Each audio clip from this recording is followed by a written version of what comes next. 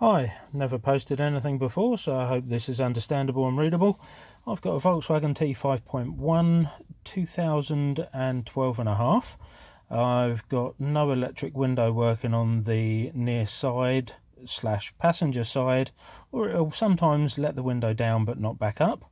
This is uh, the replacement box supplied by TPS.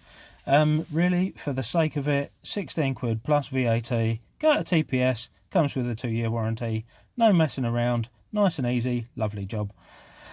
Okay, the one that you can see there is the defective or old one. And we've got that there, we've got that there. See it rolling around on the seat nicely. Four pins, clips in. Um, that's about the size of it. You just pinch the clip to uh, slide it out, and here it is, all in situ.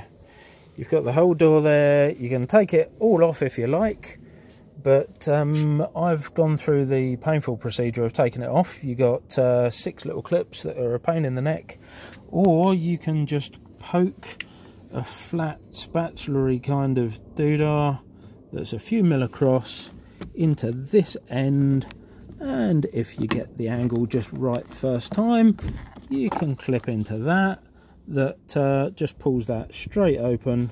You can get that out, pop the same spatula up the sides here, and that pops your switch out. Do that both sides. Sorry, not very good camera work. And job's a good one. You can see that it's latched in at the back there by two bits that poke under.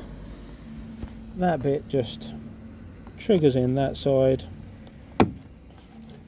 Job's good. And if your little spatula thing's good enough then you won't particularly mark it. You can see that there's a couple of little indents there. Now I don't recall them being there before but that also kind of looks to be where the um, aim for point for your spatula is. Don't try and go in too level in as far as making it squash in like that.